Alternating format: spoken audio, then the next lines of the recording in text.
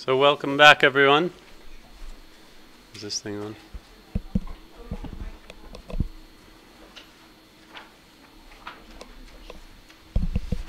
Doesn't seem to. It's okay.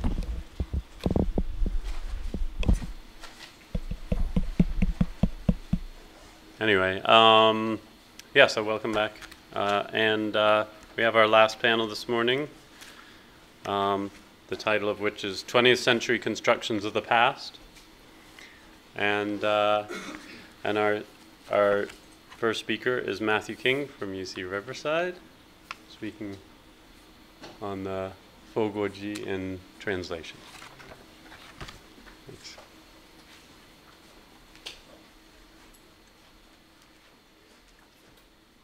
Okay, uh, thank you very much, uh, Jake and Caberly and all the organizers, uh, and also for the other presenters for the uh, incredible papers yesterday. Um, so, um, over the last few days, uh, we've heard quite a bit about the impact of Buddhism on Mongolian societies, about the ways that Buddhism did or did not change the quotidian realities of Mongolian peoples, to use Johan Elverskog's wording from the keynote that opened this conference. And together we've questioned the utility of some of the enduring categories that organize the study of inner Asian religion, and have reflected on whether out of fashion representations like la- uh, Lamaism or Lamajo um, and shamanism ought to be given new life. More generally, we focused on processes of circulation, mediation, and localization, the way that law, ritual, models of history, material culture, uh, political ideologies and institutional forms moved in and out of Mongolian societies in zones of contact with Tibetan, Chinese, and Russian spheres of influence. Um, my presentation this morning explores a still more dispersed circuit of exchange, one that reaches geographically deep into Western Europe, implicates the earliest expressions of an academic study of the Mongolian uh, and Tibetan world, and which opens the late imperial, uh, sorry, and which spans the late imperial period, the revolutionary transition in Halkh and the global Tibetan diaspora today. Um, this was, this all sort of centers on the translation of the 5th century pilgrimage record of the Chinese monk Faxian into Mongolian and Tibetan, and the variety of competing social and religious imagining it helped engender during the imperial socialist transition. So, the life and literary traces of the famous Chinese monk Faxian uh, will already be familiar to most of you. I'm sure most of you teach it uh, and, and, know it uh, uh, very well. So, here I'll just offer a very brief review of his fantastic life and the record of it, of it which he left. According to the traditional accounts, at the close of the fourth century, Faxian was a 62 year old monk despairing at the state of Buddhist tradition in the Eastern Jin uh, dynasty. The Vinaya and sutras existed only in partial uh, Chinese translation. Monastic institutionalism more generally was poorly and unevenly organized. Resolving to remedy that story state of affairs in 399 uh, of the Common Era, Faxian set off from Chang'an with a few companions for what would be a 14 year odyssey through major sites of Buddhist learning and pilgrimage in Central and South Asia.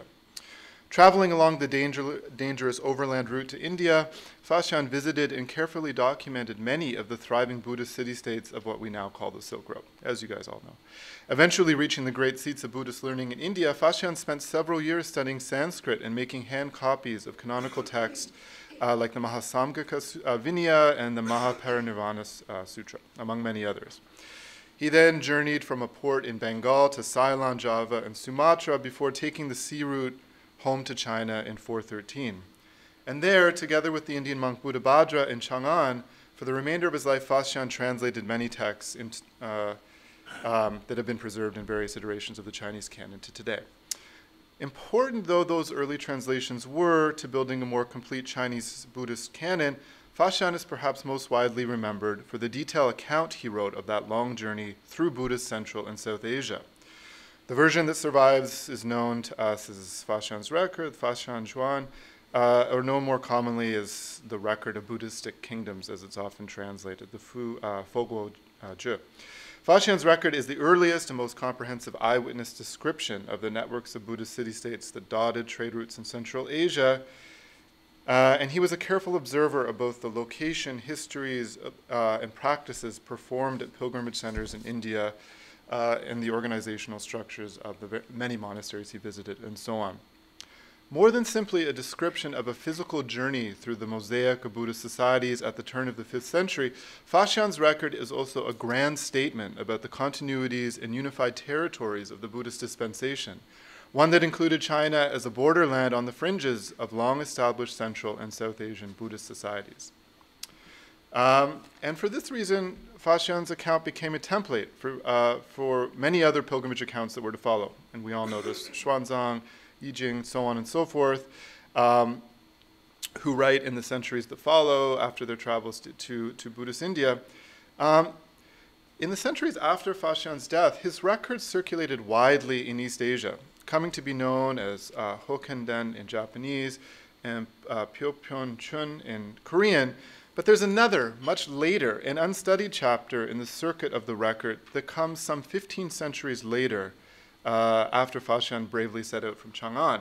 And this was, as I mentioned uh, already, uh, uh, beginning in the middle of the 19th century, the translation of this classic of East Asian Buddhism into Mongolian and then a couple decades later into Tibetan. Inner-Asian readers made immediate use of this record of antiquarian trans-Asian Buddhist and cultural uh, life, precisely at a time when new social imaginaries, collective historicizations, and Buddhist reformulations were occurring along the complex Mongolian and Tibetan frontiers of the Russian, Qing, and British empires. The story gets more interesting, though, because Faxian's record did not enter Inner Asia via the Chinese, as many presume, but through a fascinating trans Eurasian circuit that begins not in Beijing, Hure, or Wutaishan, but in Paris, during the founding moments of French sinology and the formalization of the academic study of Asia and its religious traditions.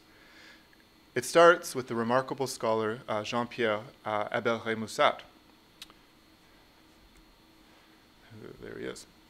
Um, Abel Rémusat was an influential French sinologist whose works were some of the earliest to bring Western European audiences into contact with the cultural heritage of East, South, and uh, Inner Asia. First trained as a physician, he earned his medical degree in 1813 um, but as a medical student, he spent five years teaching himself Chinese in order to read a guide to medicinal plants that he discovered.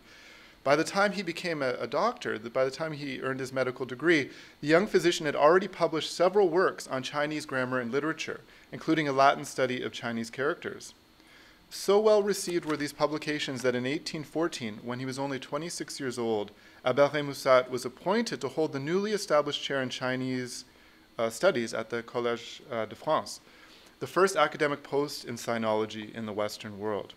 And while at the collège, uh, and later as a member of the Académie des uh, Inscriptions et Belles-Lettres, and um, editors and uh, curators and so on of various collections of Oriental manuscripts around Paris, Abel Rémusat pioneered sinology as an academic field of inquiry.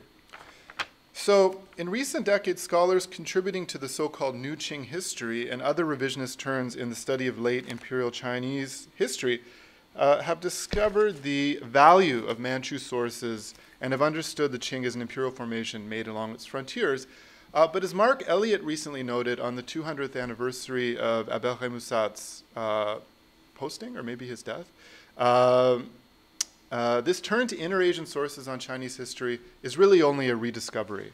Already two centuries ago, Abel Rémusat pursued a course of sinological research that balanced Chinese with Tibetan, Mongolian, Uyghur, and Manchu sources. And indeed, his chair at the Collège de France was not in sinology as such, but in Chinese and Tartar Man- Manchu. Um, Abel Rémusat's works were some of the first to bring European audiences into direct contact with translations of Chinese, Japanese, Mongolian, Tibetan, Sanskrit, and Pali texts. These monoliths of Oriental scholarship in the 18, uh, 1830s really opened a new era of European uh, direct access to Asian cultural artifacts in translation. And Buddhism was a particular theme in his research. His explorations um, on this topic were as eclectic as in the rest of his scholarly pursuits. He wrote, for example, on the hagiographies of the 33 Buddhist patriarchs, uh, you know, uh, wrote on the epithets of the Buddha and so on. And very interestingly, he also published a specul- speculative piece on the origins of the Tibetan and Mongolian Lamaist hierarchy, as he says. It's a really interesting uh, article. whose forms and guiding cosmologies he determined were surely due to their being, quote, a kind of degenerate Christianity, end quote. While Abel Rémusat's scholarship was widely read in his time, one of his works in particular has really endured, and that, of course, is his translation of the Foguo Ju, of Faxian's record. Foguo Ju. Ji. Faxian's record. Quote, for the European view of the life of the Buddha, writes Donald Lopez, this was the first concerted attempt to identify the places in the Buddha's biography with actual locations in India. Abel Rémusat's work represents the most detailed life of the Buddha to appear in Europe up to that time, end quote. Sadly, this pioneering sinologist died in the cholera uh, epidemic that beset Paris in 1832 when his translation was only uh, half done. Um, happily, though, it was completed by colleagues and published in 1836, with many, many, many other English um, translations, especially uh, coming well into the uh, late 19th century. Now, Abel Remusat's work is actually best thought of less as a translation as such and more as a compendium of contemporary European knowledge about Asia and Buddhism. Faxian's text takes up only about 50 pages in his translation, which altogether is over 500 pages long. The excess is filled with notations that provide a master narrative to the Buddhist worlds and to the Buddha's biography through which Faxian journeyed. And it is here, finally, with this complex product of the earliest academic focus, uh, sorry, the earliest academic um, studies in Europe on Asia and Buddhism, that we come to the fascinating but mostly unstudied circuit of Faxian's record into Mongolian and Tibetan. Uh, and to do this, we need to come to a fascinating figure not only in the intellectual history of Buryatia, but also in the Asian circuit of humanist and social scientific methods into Asia's heartland, which is uh, Dorje Banzarov. Banzarov was born into a family of peasant Buryat Cossacks in March of 1822 in Transbaikal uh, Oblast.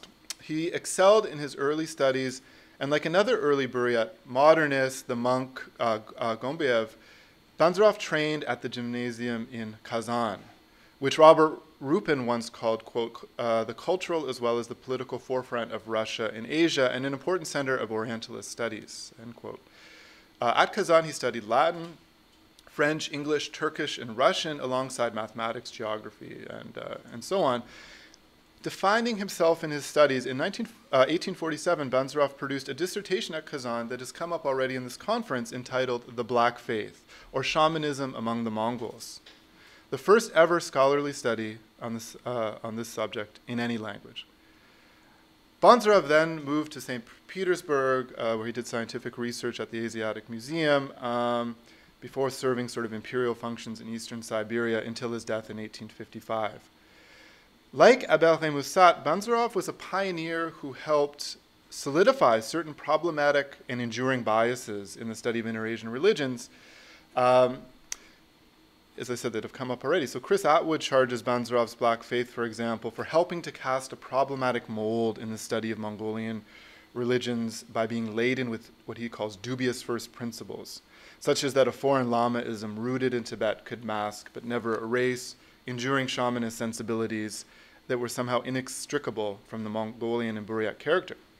So this so-called two-tier model invented by Banzarov is still quite alive and well, as we heard yesterday from Professor Charleux, and also as Johan mentioned in his keynote.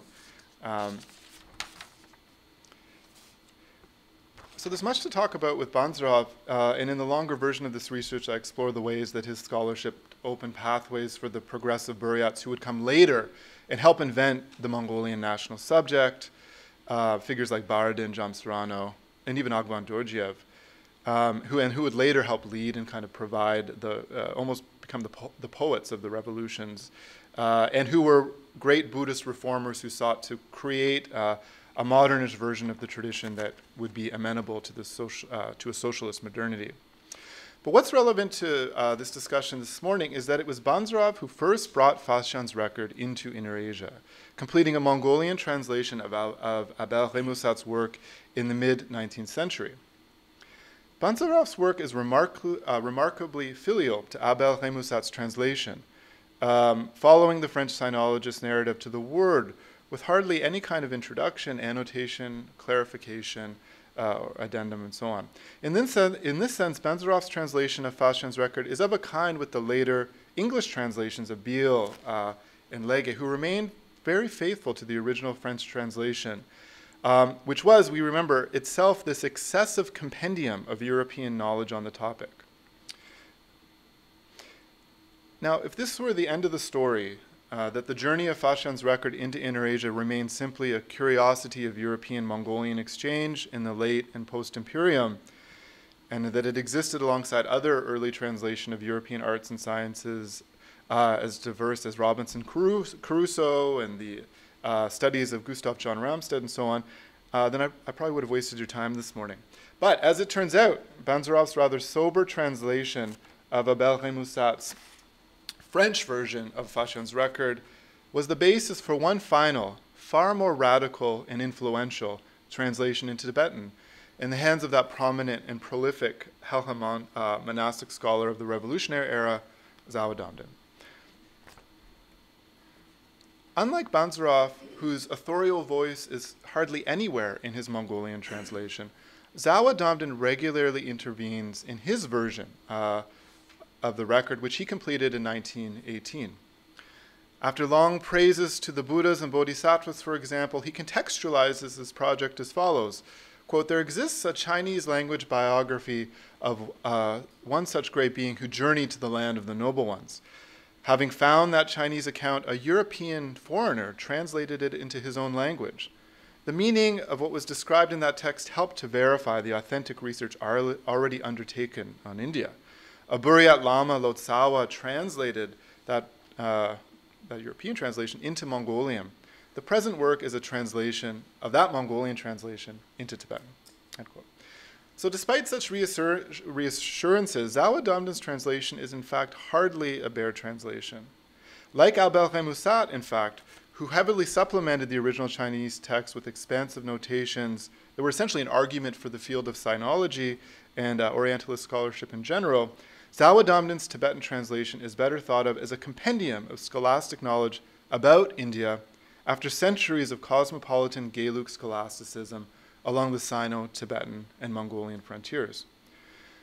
Zawa primary sources that he uses to clarify and enliven Faxian's record are Gombojab's uh, 18th century tran- Tibetan translation of Xuanzang's guidebook, uh, the Oxhorn Sutra, the Langrunung Tempa, uh, various Qing era uh, geographies, and of course also the root tantra of Manjushri, uh, which factors in so prominently in his work. Um, interestingly, and as part of what I have argued elsewhere, was an important uh, turn to evidence-based histori- historiography amongst these frontier Gelug scholastics over the Qing. Zawa Damdin also heavily supplements Banzarov's Mongolian uh, version with the oral record, with oral interviews, oral reports, and so on, um, that he had heard from travelers to Central Asia and India, including some European scholars who he writes showed him pictures and maps of Silk Road excavations. So I don't know who exactly these, these were, he doesn't specify, um, but it all helps supplement his interpretation. So, and I don't have any time to really go into detail about each of Zawa hundreds of interventions into Faxian's record, but let me just close by showing you one example, uh, really uh, pulled at random, of the sort of layering of narrative and intervention that colors this work. Um, I'll leave that. Uh, so I mean, this is just a just really just the opening of one of dozens and dozens of chapters, where in the blue is the narrative Abel Remusat's narrative as translated by Banzarov. In red is the supplement from Xuanzang's guidebook. In green is Zawa Damdin's own authorial voice intervening, and then back to um, Banzarov's version. And it just goes on and on and on. We're switching to the Kala Chakra, to the Jampa Tsagyu, the Manjushri, the Rutantra Manjushri, and so on and so on. It's just this beautiful, expansive, expansive kind of stuffed text um, that goes on and on and on. And uh, yeah, um, which I'm a little enthusiastic about, as you can see. Um, beyond stuffing Banzarov's translation full of textual sources on Indian Buddhism, elsewhere in Zawa Damdin's oeuvre, he uses the new historical information gleaned from Faxian's record to tell radical new stories about the history of Mongolian Buddhism in relationship to its Chinese and Tibetan neighbors. And it's important to note this because it's Zawa Damdin's Tibetan version that for the last hundred years has circulated in Tibetan communities. So there are, uh, if you read any um, kind of uh, histories of Buddhism, Chujung texts written by Tibetan scholars in exile or even in the PRC and so on, it's this version of Faxian's text that they cite, and also Adamdin's interpretation of Mongol history on the basis of Faxian um, that uh, guides their own interpretations. The most pronounced uh, application of Faxian's, of this new historical information from Faxian and Zawa Damdin's work is to the Golden Book, which many of you are familiar with, the Altan Defter or the Serki Defter, uh, which he completed in 1931, just before the purges, but whose early, very innovative chapters on the ancient history of Mongolian peoples he completed in 1919. And so I'll use just the remaining few minutes that I have to very briefly summarize the very new conclusions about the Mongolian Buddhist past that Faxian's record uh, afforded him. So it's quite well known that Gombojab's 18th century translation of Xuanzang's pilgrimage tale was often used by later Mongolian historians like Rashi Phuntsog uh, to ar- argue that not only had Mongols received the Dharma earlier than the Chinese, but that Mongol peoples had supplied the Han with the first Buddha statue during the reign of Wudi, uh, who sent military forces into uh, Shunu, uh, Xiongnu territory, which were being claimed as Mongol uh, uh, forever after. So, similarly, in the early 20th century, and on the basis of Faxian's record, now in Tibetan, Zawa Damdin found evidence that not only had Mongols received the Dharma before the, the Tibetans, but that it was Mongols who were instrumental in bringing the Dharma to the imperial courts of the Tibetan Empire beginning in the 6th century. Basically, this move is justified by a creative philology on the part of Zawa Damdin that had already become standard scholastic practice over the course of the Qing. To claim the sundry, very messy, and incomplete references to northerly nomadic peoples um, in Indic and Central Asian Chinese historical sources um, as Mongol peoples. With Faxian's record in hand, Zawa Damdin added to that long tradition in post Qing Halha by claiming Khotan as a Mongol city state which in turn allowed him to make Mongol claims on the Yarlung court of Songtsen Gampo uh, and company. So Khotan, as many of you know, is just uh, on the uh, lower side of the Taklamakan Desert there, an important Buddhist city-state along the Silk Road. Um, okay. The centrality of Khotan or Liyul in Zawa Damdin's historical imagination um, really cannot be overstated. Um, just as it had been for centuries amongst Tibetan and Mongolian monastic historians who debated, for example, whether Khotan, or whether the Khotan or the Liul described in the prophecy of the land of Li Sutra, the Liu uh, uh, uh, and the Ox uh, Mountain Prophecy tr- Sutra, and so on, had been located in Nepal or to the north, north of Tibet in China. And here's just a, an example of how this plays out uh, in the Golden Book. Uh, I won't read all of this uh, at all, but um, uh, he, he's basically making the argument that Buddhism had, uh, by the time the Buddhism's teaching uh, was beginning to hit Tibet, it had already come to this Mongol world, this Horsok world, and in the third paragraph, the Chinese monk Faxian made his pilgrimage to India 300 years before the time of King Songtsen Gampo. Then, at the time of Songtsen Gampo, Xuanzang went to India. On the way to India, they both saw that the victor's teachings had already been established in Hor, or Mongolia. And this is also shown from the fact that the great Sandalwood Zhou statue had come from uh, India to China via Hor. Uh, if you look at Hor, Mongolia, and these sources, there's no doubt that Buddhism was established there before China and Tibet. And this position is elaborated upon in the Golden Book by reinterpreting the legends uh, about the very first Tibetan king to have made contact with the Dharma, Totori Nyensen. Zawa Damdin rehearses the usual story that during his reign he received two foreign Buddhists from Khotan at his court. Realizing that their visit was in vain because the Tibetan court, court was then illiterate and they could not understand each other's language, they returned to their ho- homeland, but not without leaving some holy objects behind, which were um, stored and made into the first kind of uh, uh, Buddhist offering objects um, you know, in Tibet. And here too, in Zawa Damdin's account, these were Mongols who had brought Dharma to the Tibetans. But that's not all. This claim is buttressed by turning to the legendary stories about Buddhist texts said to have miraculously fallen on the palace roof uh, at another time. Oops. Uh, said to have miraculously fallen on the palace roof uh, at another time during Tottori Nansen's reign. The Golden Book, quote unquote, clarifies that while these have often been seen as descending from the sky, this is merely due to the fact that Tibetan Bonpo priests worship the sky and so made a faulty attribution. In fact, we read, these texts arrived on the still non Buddhist Tibetan court, uh, to, to, the still non Buddhist Tibetan court, carried on a wind from the palace of the king of Zahor, which refers somewhere uh, to somewhere in Bengal, but in Zawa Damdin's telling, kind of buttressed by Faxian's account, this is from Mongolia. Same sort of a claim happens to King Songtsen Gampo, another of the great Buddhist kings of the Yarlung Empire memorialized in Tibetan sources.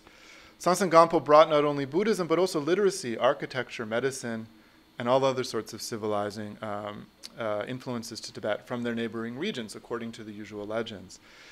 The Golden Book reminds us that from Persia and the land of Sok in the west, Songtsen Gampo brought the treasure of wealth.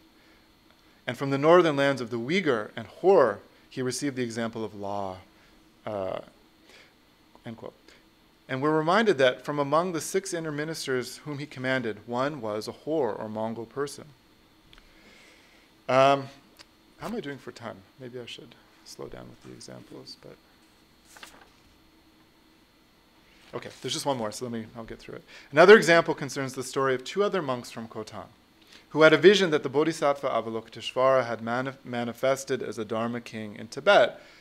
Um, upon their arrival in the land of snows, they were first shocked to see executed criminal, criminals and other evidence of an apparently unenlightened kingship everywhere. Um, according to the usual story that many of you are already familiar with, these misconceptions were cleared um, upon meeting Songtsen Gampo, who awed them by revealing a seated Buddha Amitabha under his turban before magically sending them back to Khotan in an instant.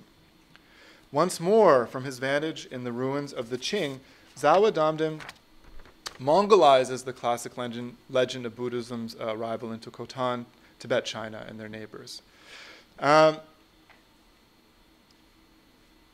and fi- very finally, this pattern is repeated in the well worn story of the last great Dharma king of imperial Tibet, Trisong Detsen, who, according to uh, popular lore, invited the great Indian abbot Shantarakshita and, and Padmasambhava, the great uh, tantric master, to transmit the monastic code and tantric lineages into Tibet and build the first monastery of Samye. Uh, in several of his histories, Zawa Damdin uses uh, new narratives such as those that he drew from Faxian's record um, to tell, to make them tell a story about Mongolia.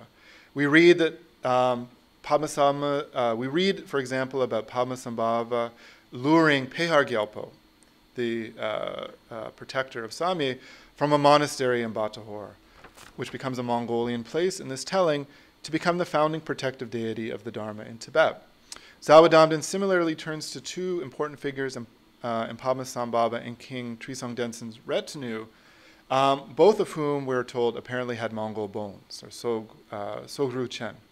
The abundance of Mongol actors in the, in the early Buddha scene of imperial Tibet, writes Zawa Damdin, brought Mongol religious terminologies into the Tibetan lexicon, though this was soon erased by the reforms of the last of those great Tibetan Dharma kings, uh, Tri Relpo Chen. Okay, so Zawa Damdin was, like Banzarov, later celebrated for being a harbinger of modern scholarship um, and uh, someone who opened the way for the reign of rationalism in revolutionary Inner Asia, especially in Mongolia. In actual fact, his synthesis of Faxian's record was central to a very new interpretation of social and religious imagination amongst Buddhist scholastics in the ruin of the Qing. Something that I explore uh, in much more detail in a recently completed book manuscript. This new social imaginary exceeded, ruptured, and confronted the newly invented Mongolian national subject and its histories, territories, communities, and sovereignties. Like much of Zawa prolific intellectual work in the post Qing era, his Faxian translation formed at the intersection of mon- monastic literary heritage and newly arriving academic discourses from Europe. Between the social sites of a newly formed scientific academy in Inner Asia and the monastic Datsang, or the monastic college and importantly, between the social persona of a Buddhist monk and that of a scholar.